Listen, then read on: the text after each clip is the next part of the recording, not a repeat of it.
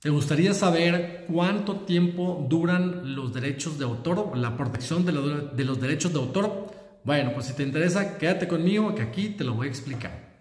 Bueno, pues los derechos de autor protegen pues todos los, los, derechos que tienen los autores. Por ejemplo, vamos a hablar específicamente de un libro.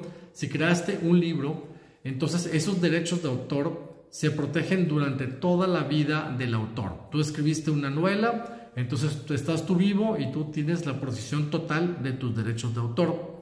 Pero ¿qué sucede cuando una persona ya, el autor fallece? Cuando el autor muere, eh, son 100 años después de la muerte o fallecimiento del autor. Entonces, si tú eres un autor y creaste una obra literaria y de repente, pues desafortunadamente, pues mueres, entonces, a partir de tu muerte, 100 años más duran tus derechos de autor para que puedan ser explotados sin ningún problema.